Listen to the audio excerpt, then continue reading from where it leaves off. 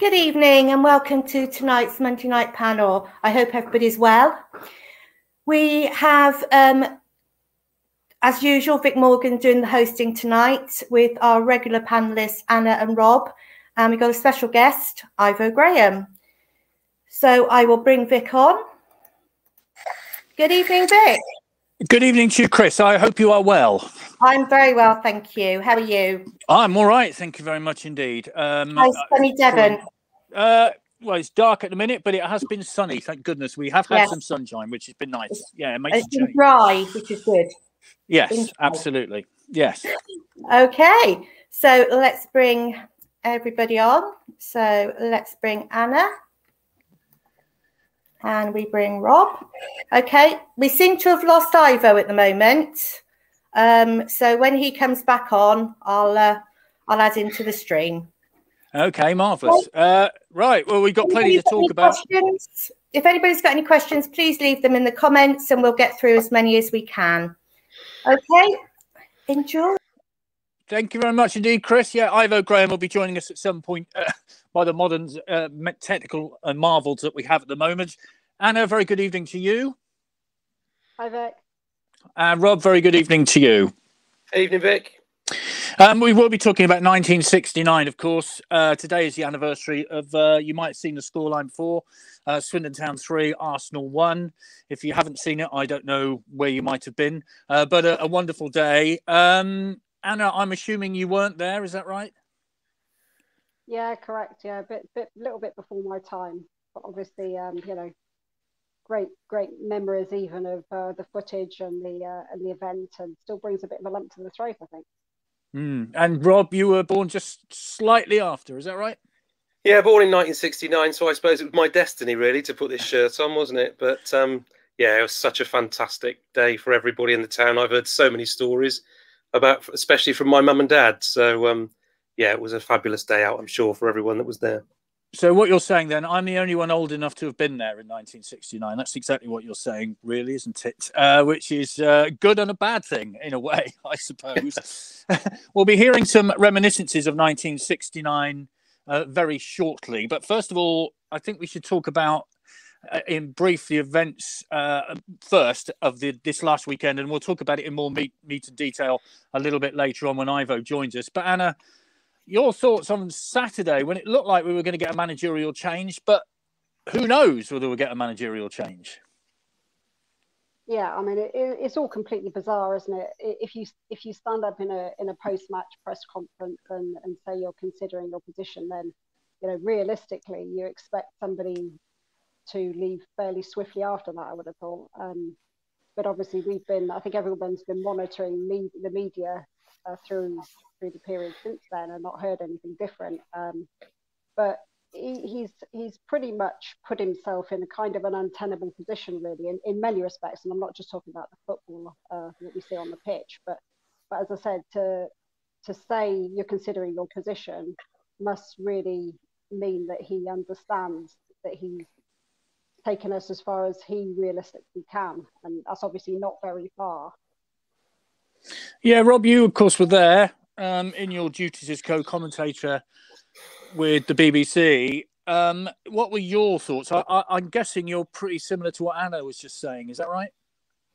Yeah, absolutely. Anna's covered an awful lot of what I would have said. To be honest, I think the the, the bottom line on Saturday was um, it took everybody by surprise. I think is the is the bottom line because we we really had no link into the fact that John Sheridan was even considering stepping away from the role. Um, so when he effectively headed Andrew off at the pass with his initial response to the first question that came out in the post-match press conference, it did take everybody by surprise. And to be honest, he looked a broken man. There's no two ways around it. He did look a broken man, and you thought we he he really has got no um, no way back from here. And I don't honestly think he has. I think he's he's effectively burnt his bridges with that post-match press conference and I'm not sure he's going to keep the not only the respect of the players but the respect of the fan base as well. I think um, it's going to be an awfully difficult job for anyone in that situation to ever repair the damage that he's caused by that those uh, those comments after the match. Ivo, very good evening to you. Vic, I do apologise. Apologies to all uh, both working on and watching this stream. Um, I've been beset by uh, issues with my internet um, and broader personal life. Um, so I've joined at the timely hour of 7.04. Um, I've just caught the back end of a conversation about someone who's uh, lost the trust of the fans. who are we talking about? Um, I don't know whether how much of Saturday did you watch the game on Saturday? I did. I didn't even watch it on Saturday, and apologies if that makes me the most terrible plastic. But Tuesday was just too. Um, it was too bleak, and um, it's been tricky this this season because you know, apart from the, the obviously the quality of the football, um, being able to watch Swindon on on the internet, admittedly with you know a, a, single camera and not a lot of bells and whistles, is is great. Um, but uh, it's I've also got an increasingly boisterous two year old, so I do need to clear like that Saturday slot. 1 p.m. actually better than three first half in the lunch nap. Um, but in recent weeks, I've started to think I'd rather just sort of I'd rather just play with my daughter and then get the bad news in just one quick hit at quarter to five or, or quarter to quarter to three in this case rather than just the slow burn. And the Oxford match was was so poor. Anyway, sorry to um, uh, launch in and immediately monopolise the chat. No, I was just going to say that the conversation regarded, of course, John Sheridan, who um, gave this. Oh, I was I was aware who we were talking about. Yeah, yeah, yeah. you were doing a bit of comedic about. thing there. I got that. I got that. Uh, what is your view on that then? Uh, I mean, we're all thinking, you know, we've all been checking. I mean, my Sunday's been looking at Twitter basically and Monday, as well as looking at a rerun of the League Cup final of 69, which we'll talk about in a minute. Um, cool. So my whole day has been looking at social media, awaiting some sort of announcement. What's your view, Ben? Well, we've got the announcement that we craved, and we've the, the rearranged fixture. That's uh, that's that's what the whole day was building up to, wasn't it? That we were going to finally get some clarity on when we're playing Rochdale is away. Ro- Rochdale, yeah. yeah. um, yeah. The problem is, it's too late now. I, I, don't mean as in it's too late on Monday to get the news. I don't know whether I believed it. I didn't whether I believed it would happen. Uh, but I think I, I think it's too late for the season now. You know, of course, there's still the um, you know reset the mood, get the players smiling again. Maybe try some, you know, try some academy products if we've got any. Um, you know, sort of treat this as an extended pre-season for League Two, but turning it around. You know, a lot of those winnable games are gone now. Um, uh, but yeah, listen, I'm I'm quite keen to be led by you guys on this because I feel it's such a depressing issue. It's so complex as well. You know, I've I've you've got to look for the humanity a little. He's he's obviously had the most uh, rotten few months on on the personal front, John Sheridan. But it's hard when you're watching on iFollow with no crowd noise and you can literally hear him abusing the players. It doesn't. That's what's really getting me is, you know, for for the toxicity to be so audible uh, when when you tune in it's just I don't. I, yeah. Well, another of our panel members who comes on regularly, Mark Merriman, I think you might know Anna quite well. Uh, the players don't believe in Sheridan, and even Sheridan doesn't believe in Sheridan. Um, and Derek has messaged to say regarding the 1969 League Cup final, and me being the only one old enough to have been there. Uh, don't panic, uh, Vic says. Derek, I was there well as well among the Arsenal supporters. Well, well done, Derek, for that. Uh, what about that? what about that then, Rob? Uh, the toxicity that that Ivo mentioned. Good word, by the way. I like it. Um, what about that? Because I think the thing is, I, I think we accept in football that language can be a bit colourful from time to time. If there's a crowd in, of course, we don't hear it. It's that simple. But you will be there. You're doing the co-commentary. You hear the noise. I mean, is it worse than you expected? Is it the same as you expected? How would you sum it up? Um, if I think back to that famous night at Portsmouth, which will go down in history, I think for the number of expletives used in one game, um, it was incredible. Is the I mean, you you can think of all the words in the world to try and uh, to try and describe it, but again, it was one of those events that you th- is he really saying that? Did I really hear that properly? Is he really not encouraging the team? And it was all those sort of feelings coming through at the same time. Yet we were trying to articulate what was going on on the pitch. Yet all that was really coming through was what was coming out from John yeah, Sheridan. Yeah. It, was, it was a very bizarre scenario. Can I just say what a great job you guys do of trying to sort of paper over that's uh, you know it's it's been lovely to get a get proper Swindon commentary even while watching and hearing awfulness. It would be lovely yes. if we had something nice to to um to commentate on Ivo, but it's taken a little while. I have to say there are very few of those matches. I know, and the Ipswich one was on Sky. Uh, yeah, yeah. I mean, I, I, I would say with the Portsmouth game, of course, those of us who live in far-flung areas, we didn't get your commentary, Rob, so we had to listen to the Radio Solent version of it, and we were uh, Marc Cohn's um, "Walking in Memphis" broke in in the middle of the commentary, which is actually a merciful relief. I thought. I was going to uh, say ninety minutes of that would have been perfect. Would it would have been great. The extended version, yes. Uh, Anna, what's your view of that? The language, of course, we don't always hear it, do we? Because of course the crowd's in, but we are hearing it this season. Yeah, and I, I suppose you you look at it from the perspective of you want you want a manager who's going to encourage the players. You want a manager who is tactically uh, going to adapt to this to the situation. And Sheridan doesn't do any of the things we want a manager to do, does he? Realistically, so the expletive laden commentary that he provides on the alongside the pitch is just one of the elements that really turn fans against him. Um, and you, have got to say that whatever the players come out with in their post-match interviews, um, they're obviously not going to really talk about what is going on behind the scenes, and you have to feel for those players as well. So, you know, Brett Pitman was a bit blindsided, wasn't he, uh, on Saturday with Andrew Halls, uh, pointing out that that um, John Sheridan had just perhaps suggested he might resign. And he seemed more shocked than I expected him to be. You know, I would have expected him to be a bit more, I suppose, oh, well, you know, more, coy about his feelings about it. He seemed to genuinely say, uh, you know, I've enjoyed, I enjoy working with John Sheridan. You know, that's all news to me. Um, but, but, but for us as the fans, you don't want to hear that stuff. You want to hear positivity. You want to hear encouragement. The toxicity that that uh, Ivo referred to is is just it seems to permeate throughout the whole the whole club, really, doesn't it? At the moment, it's it's not just John Sheridan. I think mm. the, the whole kind of um, from from the back room, from the top down. It's it's all very toxic. Um, yeah, we've got the ownership to discuss a little later. So we'll get to the ownership matters. Yeah, the, yeah, that's something else which is bubbling under. We'll, just, we'll get to that a little later. Uh, this is from Pete. How could the season gonna... get any? Sorry, go on, Anna. Yeah, go on.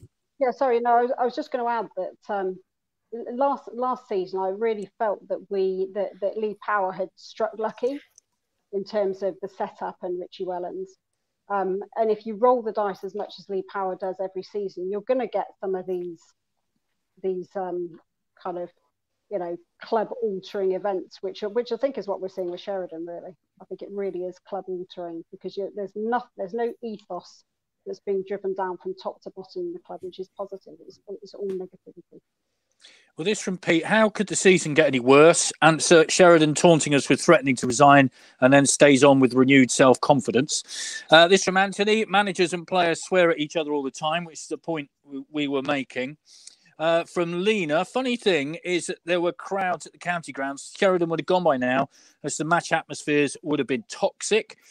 Um, Dan says, with his comments made after the Gillingham game, as Sheridan now makes his position untenable. Well, at the moment, it appears not. I mean, crowds being in, uh, my mind goes back to a Mansfield game some years ago when, when uh, Andy King, Andy King, there was a great deal of pro and against Andy King in that particular match, and it really was a horrible, horrible atmosphere.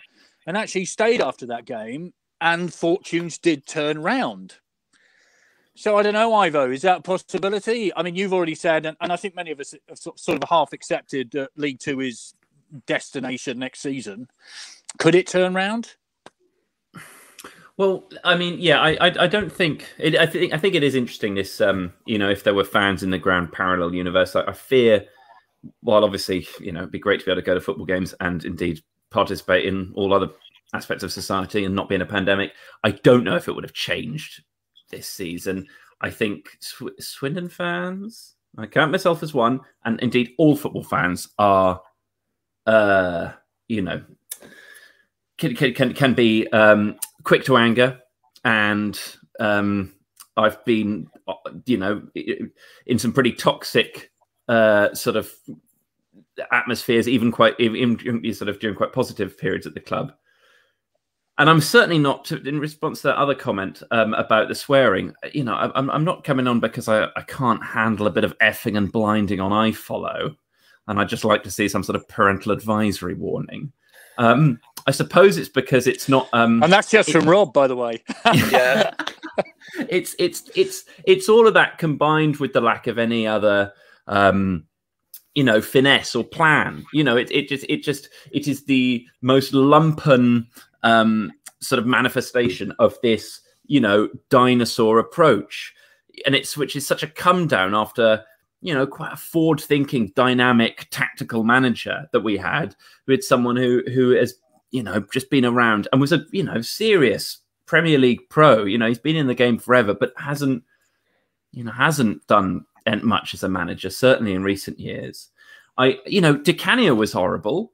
You know, Di, Di Canio, uh, you know, swore at people, fell out with people, also kind of you know there were players that he kind of ruined as well you know like people like luke rooney i remember how excited i was when luke rooney signed and you know Di Canio, i'm sure if if you didn't you know would, would ruin play, some players confidence. But there was enough clearly there was enough money to just keep bringing players in but also the methods worked on enough players that it was hewn into something very very exciting and dynamic um, so I'm not, you know, it's not just that I think that managers should be polite. I mean, I am a tediously polite uh, person. You know, I'm I'm a Luke Williams. I, you know, I'm I'm a sort of you know shaking hands and going down quietly. We go again Saturday. You know, that's that's, and I'm aware that doesn't work either. We got relegated with that as well. Yeah, yeah. But it's it's just it's just that every aspect is so depressing, and players come in, and God knows how many players we've have come in.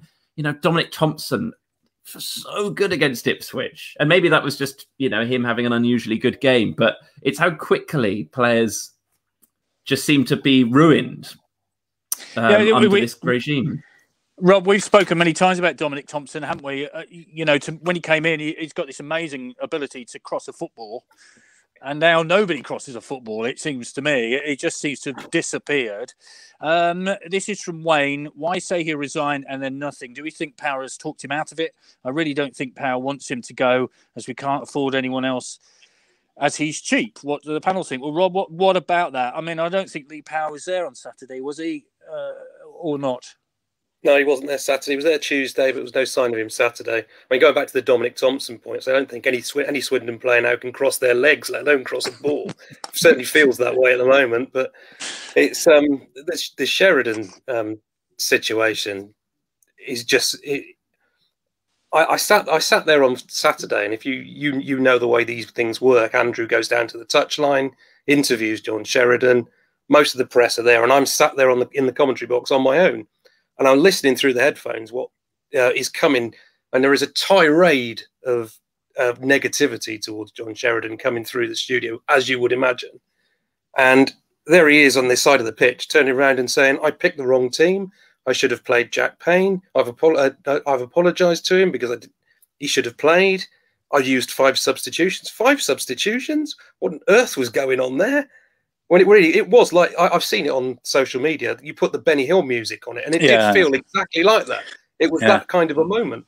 Yeah. And uh, I suppose we at least one thing this season we have created history, which won't be repeated anywhere else. But um, uh, I, you you you you think that we've sunk to the the deep the deepest depths game by game, and they find a way every week to just plummet that bit further. And that's what it feels like at the moment. Well, uh, seven goalkeepers and five substitutes. It's not bad, is it? Uh, Luke Hodgson says, uh, was uh, Tisdale there, Rob? Saw that rumour on Twitter. Well, I think you can confirm he wasn't there. He's been linked with Leyton Orient. Uh, that's the latest that I've seen from my Exeter connections. Um, lots of other comments coming in. So thank you very much indeed for this. Um, we're going to talk briefly about now 1969 because um, we've established that I am the only person who's old enough to have been there in those days. But Anna, the 69er fanzine, which you co-founded, of course, was named after that very day, was it not? Yeah, of course. And what what else could you call a what else could you call a, Swindon Town fanzine if not after our greatest ever success? Um, yeah, so you know we we've had a lot of other we've had a lot of other good times watching the town though, haven't we? Aside from that, um, but if you think back to that achievement, it kind of mirrors as well, you know, with that with that pitch that they played on at Wembley. Some of the pitches you're seeing currently, not not perhaps so much the county ground, but I know Newport have really suffered badly through, you know, through through this season. But um, as, a, as a town, it's, it's still obviously fondly remembered. We've still got Don Rogers and his sports shop going down at, down at the bottom of the town. Um, but yeah, like you said, I'm, I'm a bit too young to uh, to have recalled it in uh, in great detail. Well, I was there. I'm proud to say, and I watched it again this afternoon, as I do on every March the 15th at oh. around about 3:30, and it's available on YouTube. Uh, one of the one, versions I watched, the match was played at double speed, but the commentary wasn't. So the commentary got further and further and further back. but but you certainly got Great. through the first half very quickly, which was uh, very funny indeed. Uh, so then, uh, let's find out about 1969, March the 15th, uh, 52 years ago. My goodness me. Uh, when my hair was almost uh, as it's almost as long as it was then now. but let's hear from one of the players involved in that 1969 League Cup final and get oh. reminiscences from John Trollope, who joined us on the sofa last year the goal, the opening goal in one of the biggest dogs' breakfasts of defensive mix-up in the history of football. There's no question about that. Yeah, yeah. What were your thoughts when Roger? I mean, we'd seen a magnificent goalkeeping display from Peter Downes, but I just remember him flinging himself all over the penalty area, making save after save. I think, I think the first 20 minutes, if it hadn't been for Peter, we we wouldn't have been in the game. Um, certainly, uh, I didn't see John Radford for about 25 minutes. Uh, you know just played for England and the big strong lad and the pitch didn't matter to him because he, he was as strong and fat. And I, ca- I can't say I see him much in the first 20 minutes or so but Peter and Stan and uh, um, Frank they were superb and kept us in the game. And obviously then we managed to get in front yeah, what about that goal? What were your feelings when it went on in? Were you thinking, great, we've got a goal, or it's only 35 minutes gone, we've got a long way to go? Oh, no, no you, I, I never thought when you score in the first half, you, you've won the game, and, you know, anything can happen, can it? Uh, I think it's been proved many times since that, uh, you know, you can never, never say you've won a game, I don't think, unless you're about five up with added time to go. the, it, the sickener, of course, was Bobby Gould, who uh, many Swindon fans will remember for that smile after it equalised. Uh, Brian Moore said uh, it was a great smile. Swindon fans less so, yeah. um, and he'd actually been involved in an incident which, I mean, today could have been off the pitch, couldn't he? Oh yeah, but we got away with quite a lot now. I mean, some of the bookings and red cards now. I mean, they're winning the ball and they're getting booked you know, and but in those days you could bump. And I mean, Harry Cousins always said to me, he said, if you got a winger, he said, first five minutes, give him a bump. He said, and then he knows you're about. Uh, and that's that, that's how we looked at it. And um, I think the good thing about it is that that players never overreacted to being bumped. You know, they picked themselves up, and next time they done you. Mm-hmm. Uh, so again, everything's changed in, in football. It's, a, it's quite a different game than what we played. It was a sickener, though, wasn't it? Just moments to go, really. And uh, Bobby Gould, it's a bit like the World Cup final, isn't it? When Weber got the goal to yeah. take it into extra time, it was a similar sort of feeling, I'm guessing. Yeah, it is. It's, it's, I think it was a long ball forward. It flicked and then it fouled, didn't it? Straight to him. So, you know, that happens. That, you know, but uh, as I said, I think we weren't so we were were worried because usually the team who gets a late goal has the impetus to go and, and win it. But we extra time to us uh, with the fitness we had, I don't think caused you know no problem at all. So into extra time then, and uh, Don gets the one just before half time, and and it wasn't a classic Don Rogers goal, although the control in the penalty area was magnificent, wasn't it? No, he. Uh, it, he changed. I think he changed feet, didn't he, or something to put it in? And he, was. I mean, it, it, he could score goals, uh, different types of goals, Don. Um, and uh, you know to get back up again, two one up. So that we were on our way. Yeah, fantastic. And and then that goal, which clinches it. I mean, my word, it is one of Wembley's greatest goals, isn't it?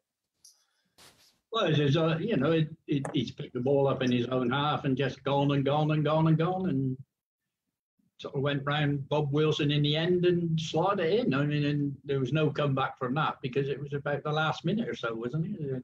Yeah, it was. Yeah, magnificent. And I can tell you, I can still see it now. Uh, you know, as he rounds him and just slots it into the corner of the net. Magnificent. But it was uh, the control he had when he was going, because as you say, it wasn't the best of pitches.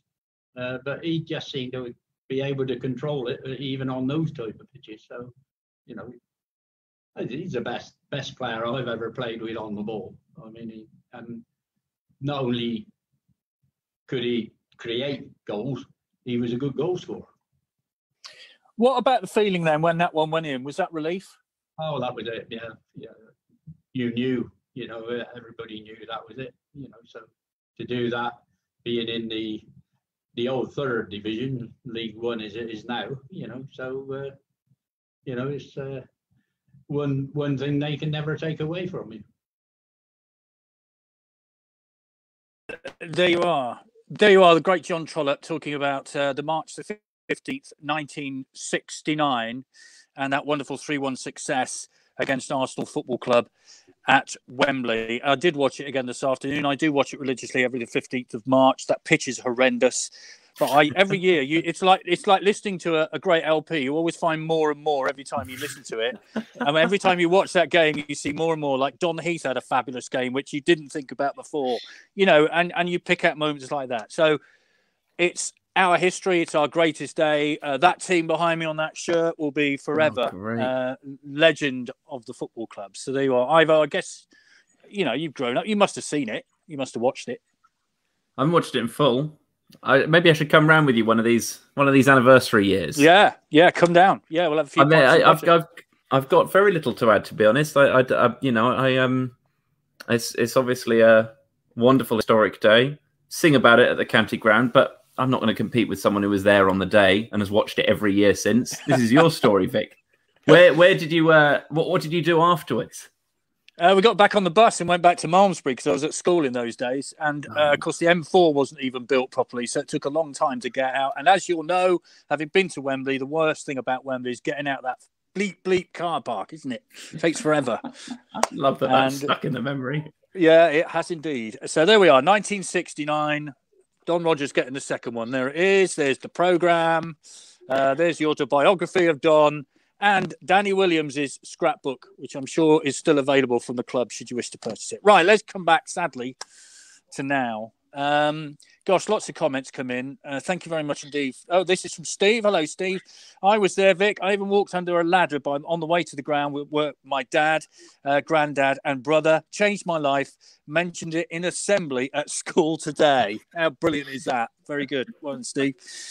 Uh, this remark the power of fans' protest should never be underestimated. Taking off Swindon players in the manner in which Sheridan has in the last two home games, it's been unprecedented and would have led to unsavoury scenes in the ground. Uh, Paul says he was never going. It was just a ploy to avoid the questions after a humiliating defeat. Um, Joe, uh, by not resigning or being sacked today, both Sheridan and Power are showing nothing but contempt for the supporters. And Anthony says, um, Ivo's PDC summary is a great example. Nobody cares when you're winning. And that actually, Rob, is very true. I mean, what if these methods had worked and he'd won, I don't know, uh, 10 out of last 12? Would we be sitting here discussing this now? Well, I think we'd be having a conversation, but it'll be a different sort of conversation, wouldn't it? Let's be honest. I mean, I, I was thinking the same thing when we talked about the swearing earlier on. If Town had been on a run of 10 wins out of 12, and you heard John Sheridan um, swearing in the way that he was, would we be having the same conversation? So um, it should be the same conversation in all cases, but we know the reality of the situation is it's every it's the we are the greatest team in the world when we win. We are the worst team in the world when we lose. It's the life of a football supporter. We're well used to it. Um, I think the problem here, is, more than anything else, is we get nothing back from John Sheridan to try and be positive. There is nothing to feed off from what he says. We're getting very little positivity from behind the scenes as well. So we're having to do it all ourselves. And in a world where COVID has taken away the life of a football fan almost completely because you're stuck behind a screen watching when everybody wants to be in that ground doing whatever they usually do from day to day, um, it's a soul destroying experience. And I think we've said before on these, I mean, whilst I'm the, I, I feel sometimes I'm the luckiest person in the world to be in that ground. I also feel like I'm the unluckiest person as well when I have to deal with some of the stuff that goes on with it. So it's a it's a very very bizarre set of circumstances this year. But more than anything else, it is we need some positivity. Everyone with a Swindon fan, every Swindon fan needs something to feed off, and we're getting nothing back at the moment. Anna, have you got anything to be positive about? Uh, in a short answer, no. But, I mean, I'm, I'm a pretty positive person, but but Rob's absolutely right. There's there's there's just this has been a season, uh, and as it's drawing to its close, it's it's almost entirely without hope, to be honest. Um, you know, you need a recovery and a run of Burton-esque proportions, which clearly we're not going to get under Sheridan. Uh, it's, it's four wins out of 22. Is that right? Since you took charge, I, I did have a quick look before you came on. I think that's about right. So you know, there's there's nothing to show that he's going to turn it around. Um, and as the games creep on, it just becomes more and more desperate. And for us sitting at home watching it on iFollow, you know, the, the, only the only positive experience I have, to be honest, is when I get to get to shout a bit of abuse at the um, away uh, the home commentators when we're playing away, because obviously I'm not gonna I'm not gonna take it out on Andrew Horns, but give it a bit large when when we're playing away from home. But there's just there's absolutely nothing to be positive about. As Rob said, we get nothing back from the club. The the post match interviews, quite frankly, from Tommy Wright and uh, and John Sheridan are just absolutely laughable. They tell us nothing they give us no hope. Uh, and I just wonder after the after the game on Saturday whether it wasn't kind of more of a a knee jerk from Sheridan. He ha- obviously hadn't thought through what he was going to say. It came completely out of the blue and wasn't hasn't been backed up with any substance. Uh, Hans from Norway. Hello to you, Hans. Uh, Sheridan has been rude and inept in man management all his managerial career. A Google search only confirms that he's been like this in every club. Horrible, unbelievable appointment in the first place. Obviously, we don't know what goes on in the dressing room, so that's one thing we can't comment on. Um, Stephen says, What confidence do the panel have an adequate replacement would be found by Lee Power if Sheridan did resign? Ivo, do you think? I mean, I, you know, if you to ask me now, do I think a change is going to happen before Saturday? I think it's, to be honest, I think it's unlikely. But you know, who knows in football? But if it did, are we going to get an adequate replacement who's going to come in, see the mess it's in at the minute, sort it out, and be ready for next season? I mean, who would you even think about would want to do that? I vote. I don't. I no. I don't. I don't know the answer. I um. I don't think there is going to be someone else. I think Anna has got it absolutely right. It's you look at the, the that interview on Saturday, and it, it's it's just it's just faff, isn't it? It's um uh it's sort of misdirection. Uh, I don't know. You know, I, I don't I don't know enough about the landscape of good available young you know lower league managers. The fact is, there are a few good ones floating around in October and uh, they went to teams who are now doing quite a lot better than us. You look at Burton, mm. so depressing. Burton, you know, or even I don't want to end up saying that I would, uh, you know, Bristol Bristol Rovers makes me a bit, bit slightly more sort of you know um, uh, confused, obviously, um, but they're probably going to. I don't know who, who who do you reckon, Vic? Oh, good question. That's why I'm asking it. I mean, at the minute, I mean, um, we all have our views on who might do a good job. I mean, I know who would be a cracking manager, who's manager at St James Park, just down the road from me. But I, I, I dare say he's not going to leave Exeter anytime soon. Um, it, I, I think the thing is, Rob, whoever takes this on, it's a massive job. Anthony's just pointed out, and we've talked about this: 15 losses at home in all competitions this season already. Truly, I mean, 15 losses at home. I mean, who? Where does that come from? It's a, a well, we, we have used the word unprecedented on so many occasions over the course of the last year. Fifteen losses at home is just unbelievably poor. It truly is. It's manifested itself. To be honest, last season, if you think back over the course of the last five or six seasons, last season under Richie Wellens, obviously we know how wonderful the football was last year and how well we played as a team. But that was a little bit atypical because season after season prior to that, we'd gradually been losing more and more home games.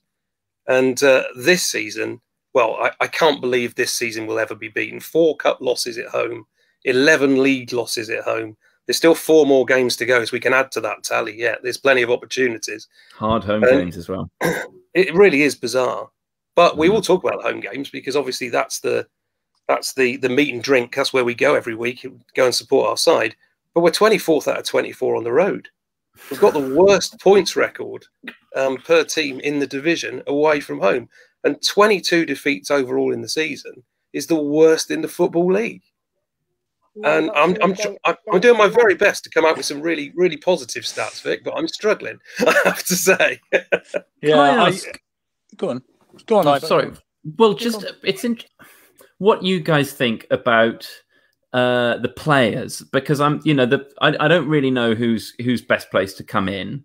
As I said, I'm not, not really sure I'd want it to be Joey Barton, but I'd take pretty much anyone else.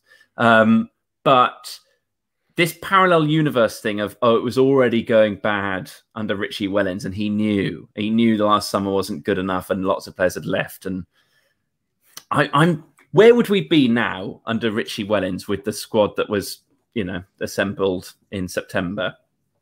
do you think? I, I, I reckon you've only got to look at the example of Burton. So Jimmy Floyd Hasselbaink came into that. They were they were they were completely messed up, complete basket case at the bottom of the table. He's won nine out of eleven with with okay, I think they refreshed a little bit, didn't they, in January? Well, they haven't signed Johnny Smith, which makes yeah, Johnny Smith worse. is doing brilliantly. yeah. So so so I think I mean I, I, think things did start to go wrong last last summer. The recruitment wasn't great, but this club and think it's it's worth taking on in the current circumstances with you know very little financially, um, no no structure around anything, no communication, no transparency of finance. I honestly can't think of many managers out there who are going to come and think, great, yeah, Swindon Town, let's let's go for that. And we can say all we like to you know till we're blue in the face that we're a sleeping giant, which you know, we, we kind of are, but not with the the, the, the, the ownership we've got at the moment. To be honest. Well, well the thing is, Rob, until we get the ownership sorted out, nobody knows where we're going anyway, do we? I mean, we've seen. Uh, you know, I must be the only person in the world who's not had a phone call from uh, Clem Morfuni. I, as I, I, read on social media that everybody's had a phone call from him, but he hasn't rung me, which I'm a bit disgruntled about, to be fair. Uh, but you know, uh, where until that's sorted out, nobody knows in which direction this club's going, do they? No, it's fundamental, Vic. It, it's the it's the be all and end all. It's the big question for everybody. Taking it back to the summer when we were all buoyant because of the um, results from last season. What was the first thing that happened? The contract situation came up for everybody. They were all offered contracts either lower or at, at best the same as what they had before, but generally a cut. Then you lose all your players the players that were the they were the fulcrum for why we achieved what we achieved last year. Richie Wellens organised them. That was the difference. The players were good enough. Those players would have been good enough. You've only got to look now at the way Jerry Yates is scoring goals at Blackpool. Eoin Doyle is scoring goals at Bolton, admittedly a league below. We still those goal scorers who were here last year are still popping those goals in wherever they are now. We would be pushing playoffs. That league this year is not a good league. League One is this. I was expecting a step up in quality, and if I'm truly honest, I haven't seen it. The difference in this division is that they are organised. Teams are a lot more organised than the teams in League Two, and when you give them a chance, generally speaking, they take it. And let's be honest, we have given teams an awful lot of chances this season, haven't we? We've I mean, made things very, very easy for them. The the football has been terrible. I have to say. I mean, I, you know, I know we're sitting you, are seeing it live. We're sitting watching it on the screen where the little white circle keeps going round, and and it, it's a, like a mush most of the time. But watching it, it's just dreadful football. Uh, Matt Taylor has uh, messaged in. I don't think it's the one from St James Park, although he doesn't live far away from me, so he might have messaged in. You never know. If Jurassic John goes, then it should be a short-term internal appointment. Lee Peacock would fit the bill for me. Um, uh, Ross Embleton is free, says Anthony because just less left late Lorians. Uh, uh, Lee Powers' January transfer window dealings were truly disgraceful. Why are the club communications so poor? Bad customer service really gets uh, repeat custom. Uh, from Pete. Uh, this for you, Ivo. How proud did you feel when Archie Matthews made his debut? And has he promised yours his shirt to you? And what other goalkeeping talent has Ivo spotted for the town? Explain the Archie Matthews situation, can you? Well, shortly before um, the season uh, was abandoned because of coronavirus, I took on the noble honour of sponsoring Archie Matthews in uh, about February of last year, um, who was Swindon's third choice keeper then, and you know this season has been anywhere between you know first choice keeper at two fifty nine and keeper who apparently we will literally sign anyone uh, so that he doesn't have to play. You've got to feel quite sorry for the guy. Um, I've been accused of milking my Archie Matthews sponsorships. I don't want to take up too much of tonight talking about it. Um, I don't even know if I am still technically a sponsor or if someone else has stepped in. It was very uh, exciting to see him against Northampton. Um, he was, if you were being really harsh, you'd say he was slightly at fault for the Northampton goal. Could have got down more quickly. So I was very relieved as a sponsor or an ex-sponsor that that was one of the very few matches uh, this season we did actually manage to see out so that he couldn't be blamed. Um, but I mean, who'd who'd be a keeper and who would be a Swindon Town keeper this season? Well, anybody, um, it seems, to be honest. Yeah, yeah everyone's having a go. I mean, but Mark Mark Travers is like a great keeper. It's almost it's almost a dream now that we had Travers for a bit. You know, will probably be a sort of second tier, you know, uh, keeper for, for for years and years. Um, I can't say I'm even able to keep up with. Was it Trueman on Saturday? was it? Is Wollacott yeah, gone now? Will we ever see Jojo Wollacott in a Swindon shirt again? No, I think that the only reason Trueman played, Rob, I think I'm right in saying, is that they signed him on a seven-day emergency deal, and now we've got Lee Camp on a till the end of the season. Is that right? Right. Yeah, it just gets more and more complicated, doesn't it? Yeah, if you sign someone on a seven-day deal, they have to see out that seven-day deal because you have brought someone in on an emergency loan. So you can't have another goalkeeper come in and replace an emergency loan because otherwise you've fallen foul of the rules. But Lee Camp obviously is presumably to be the the next Archie Matthews replacement Ivo for the rest of the season. And um, of course, he's he's well, he's certainly been around the leagues, hasn't he? But he will become when he plays on Saturday, presuming he does, the 40th player this season to wear the town shirt. 40 players in a season. Wow, it's that's amazing. truly incredible. it is. Um, uh, I should say I've got a pair of goalkeeping gloves upstairs for my walking football session. So I, there you I go. There you go, Vic. I am available. Um, actually, uh, and I got. Uh, I should mention one positive. Okay, from Saturday, one positive. Brett Pitman got Swindon's six thousandth league goal on Saturday. The five thousandth, if you're asking, was Sean O'Hanlon. So uh, well done to Brett Pitman. He's in the record books. Uh, it's Bobby a shame Barnes, he couldn't have got it against Oxford from the penalty spot five days beforehand, isn't it? If you mention that word again, Ivo, I will ban you. Is that okay? the O word. Uh, I don't yeah, think yeah. I don't think Brett has had a terrible season. He's clearly got an eye for goal, but that was one of the weakest penalties you could hope to see in a crucial derby. Very well, depressing the, stuff. The fact of the matter is, if you look at it, there was a chance that um, Anthony Grant had, wasn't there? The volley, which if he'd had it on target, it was going in. It's as simple as that, really.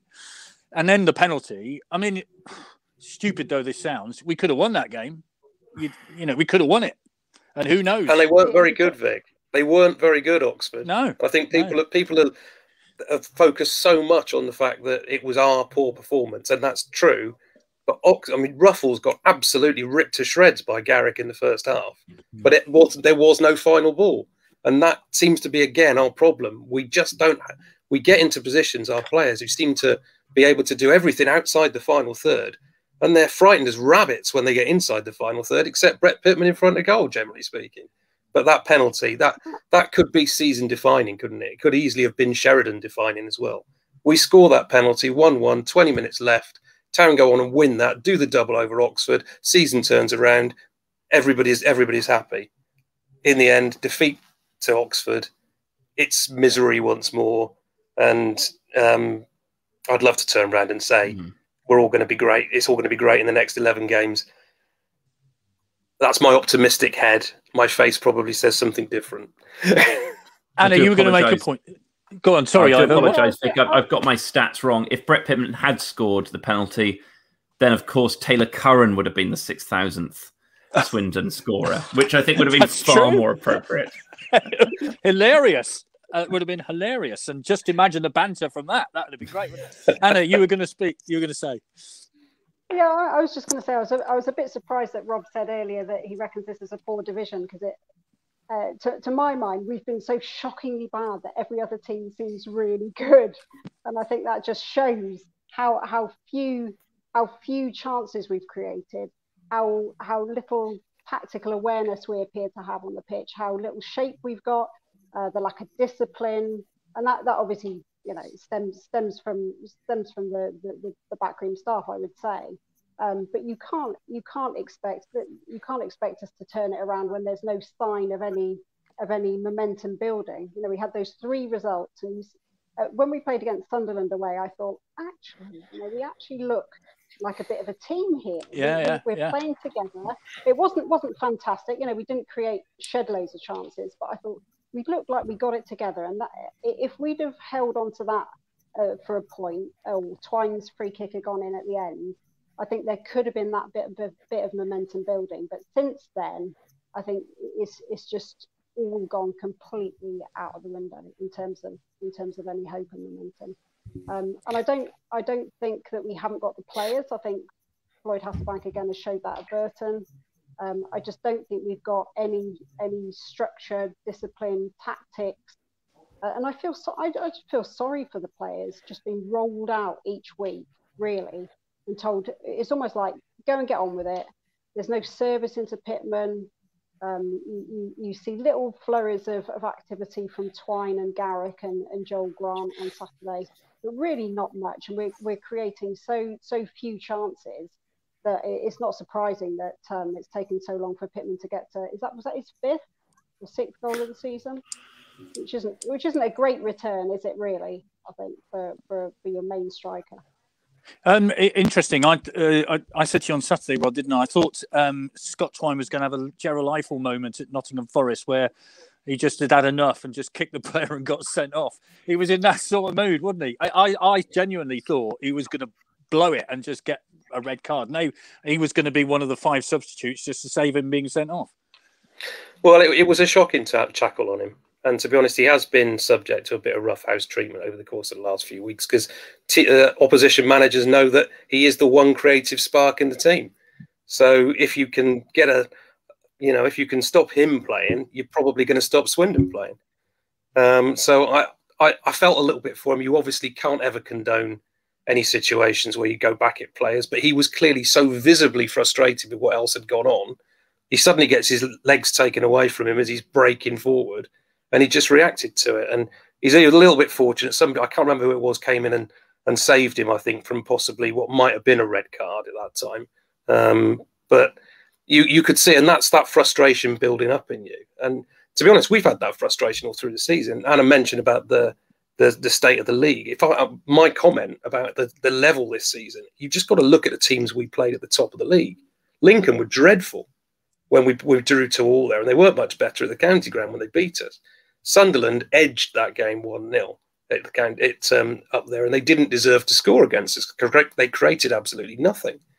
Hull, okay, they had a comfortable victory at their place because Swindon didn't turn up on the day, but at our place, we beat them.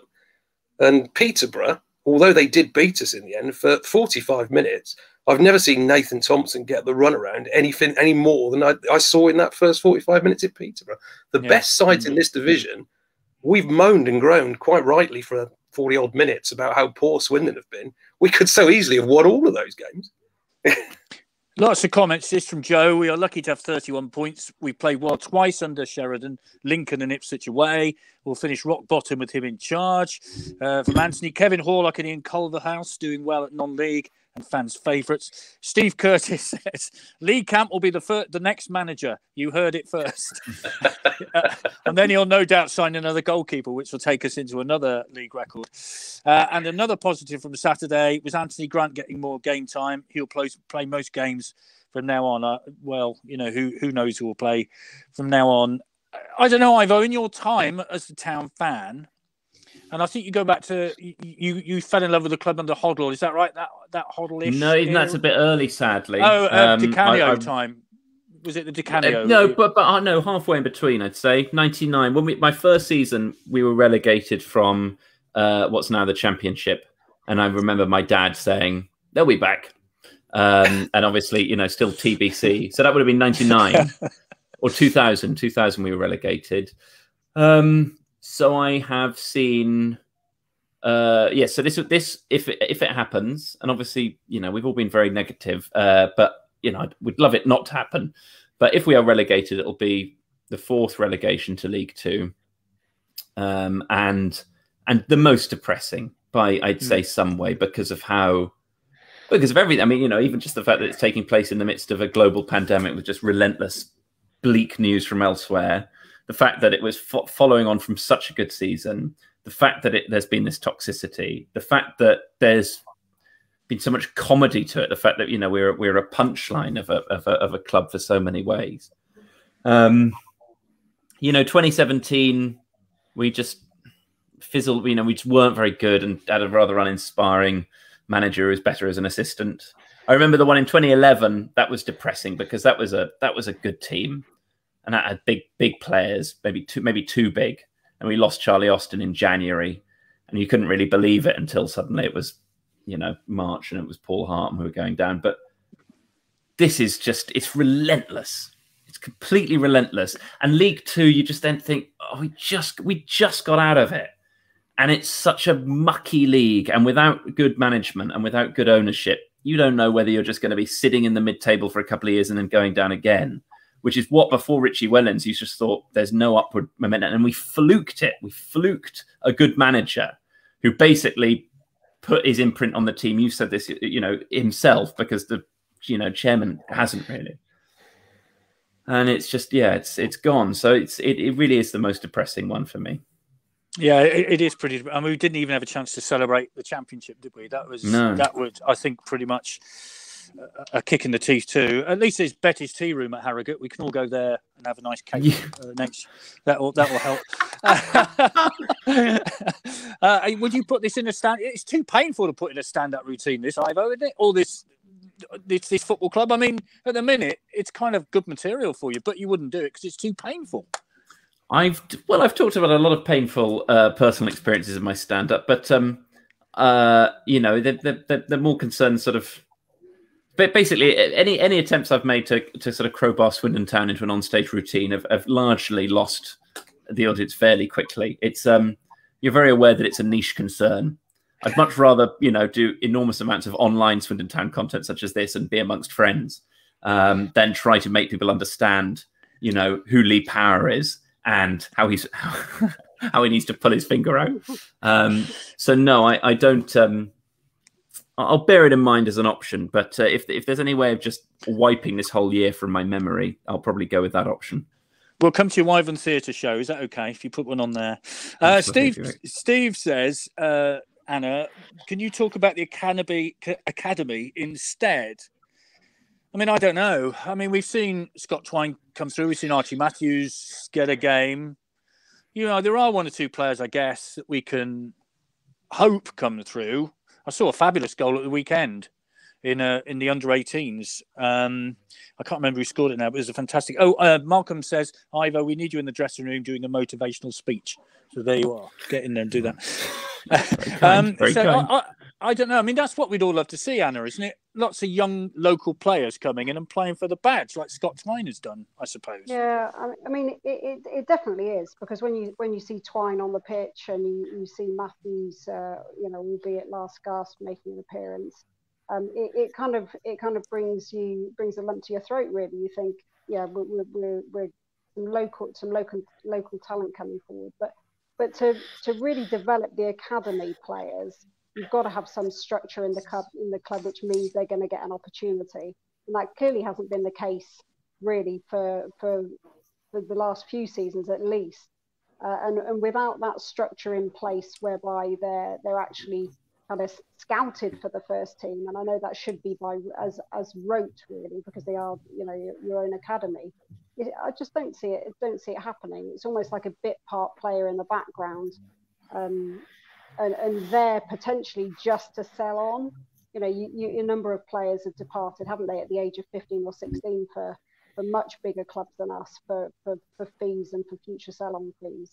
So I just and until there's there's a real ethos about developing that academy talent in order to bring first team into the first team, I don't think it's really realistic to. It's, it's going to be the odd one every now and again. Yeah, Luke Haynes is being mentioned as another one, and, and it was Harry Parsons who scored that free kick at the weekend against those the players who play in yellow. It was a great goal. I, I, you know, if you have a chance to to see it on online, have a look because it was a fantastic shot. Um, is Clem the answer? Is a question. Uh, again, uh, he's not rung me, so I've never spoken to the chap. Uh, apparently, he went to a lot of away games, Rob. I don't recall seeing him we don't know what the answer is, do we? Uh, uh, you can speak, you can write, you can talk, but until it actually happens, we don't know. Simple as that.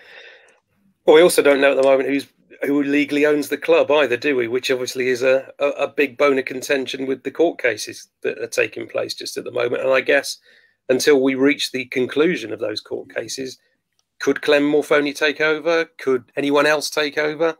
Who knows? Um, I think we this is this is the one of the biggest bugbears I think we've had in years at this club because we don't know whether there is someone out there who really would pile money in, would take us forward. We all hope that that dream is still there for somebody who can do that for us, but it ain't happening at the moment with the man in charge. So um, either he stands aside and falls on his sword, and everyone else, um, you know, can can then come up and pick, come in and pick the pieces up or we're going to be stuck in this limbo land.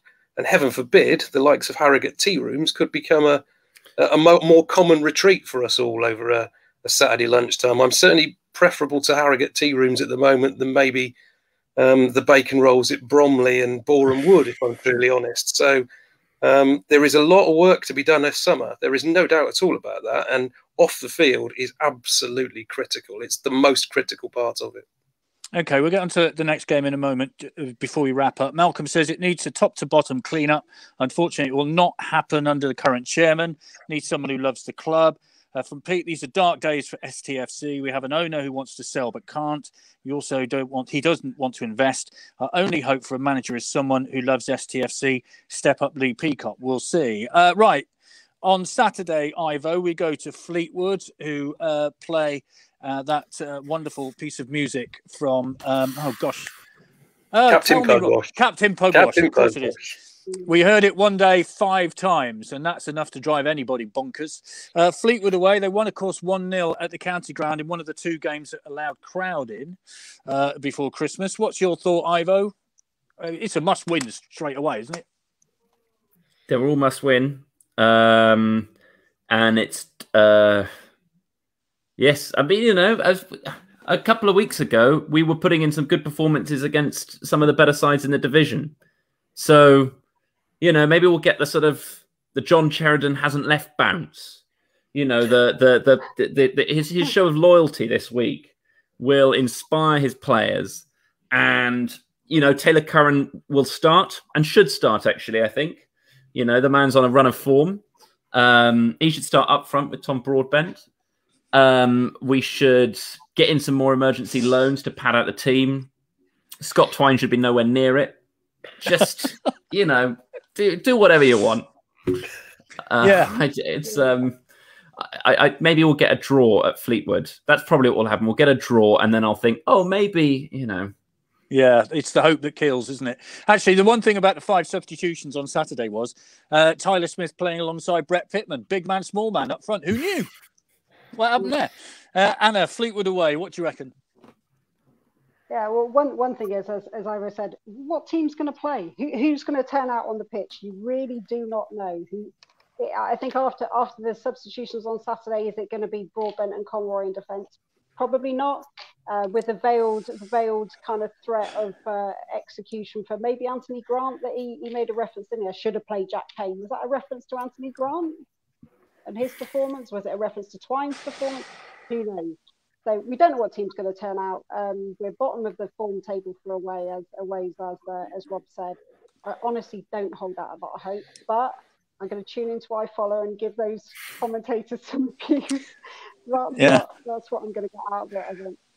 Yeah, uh, the the great stand, the, the the unused stand behind the stand, Rob, is always one of football's great views, isn't it? And the chippy next door to the football ground is always one of the great chippies. Uh, what's your view of Fleetwood? 4 0 Swindon, Sean. Um, Vic. 4 0 Swindon. We're going to absolutely Oof. go up to Fleetwood and murder them. It's sorry, don't mention that name. Things. Rob, don't it's mention be... that name. yeah, sorry, yeah. It's going to be, but that's the way, that's, the, that's just the sort of thing we'll see, isn't it? That's just the sort of thing we'll see. Just when Swindon are at their, yeah. just when Swindon are at the lowest ebb, we're all here thinking it's all going wrong. They go and put a performance in that nobody expects. Like Nicky and, Jose did a few years ago. Do you remember when they won 1 0 at Fleetwood and we all thought, oh, yeah. stay. Oh, oh, no, they're not. Absolutely. And I, I just, yeah. I, I, mean, I, you, nothing points towards Swindon getting any points this weekend. Nothing at all. 4 0 Swindon. Brilliant. Um, Anthony says Ivo's got a better game plan than Sheridan. Uh, Liam says love Ivo's irony. Uh, second guess Sheridan. Good luck. He doesn't even know himself. So there we are. I, I mean, I you know, I, am not one who goes in for abuse, and I, as you as you said, Ivo before, he's been through terrible uh, personal circumstances, and I don't know. It seems to me that maybe somebody at the club should have just said, "Do you want to step aside for two, or three weeks, just sort yourself out?" And you know, to me, that would have been uh, the way of it. Love Rob's irony too. I don't know what he said. yeah. Brilliant. Well, thank you very much indeed. We've come to the end of our time. Uh, wonderful to have you along, Ivo. I hope you'll come back and be part of another panel, will you, at some point? That'd be lovely. Yeah, maybe on when relegation is confirmed. Let's uh, let's yeah. have a party. We can have a party and celebrate what I don't know, but yes. Thank no, you I mean I don't want to be bleak about it. I mean, uh, yeah, it's so sad. My best friend lives in Harrogate, so that's I'm genuinely looking forward to that. You said that what would be the only way the season could get worse would be if Harrogate fluked a promotion through the playoffs, and then I didn't even get to go and go and see my friend in Harrogate. So that's it for me. But thank you for having yeah. me. no pleasure, and, and it's a, from a local point of view. Torquay United might be the they're going to blow the national league by the look of it. So that'll be another local game out of the way for me, uh, and that'd be great. Exeter, well, may go up or may not go up. Anna, thank you very much as always. Thank you very much indeed for joining us. Okay. And Rob, thank you very much, and we'll uh, no doubt speak again soon. Thank you. Speak soon. Okay, thanks so much, guys. That was brilliant. Um, the hour went so quickly. So uh, we haven't got a on the sofa or a Monday night panel next week. Uh, not that we know of at the moment, but keep your eyes peeled. We may be able to uh, put something on for you. So thanks for watching, and we'll see you soon.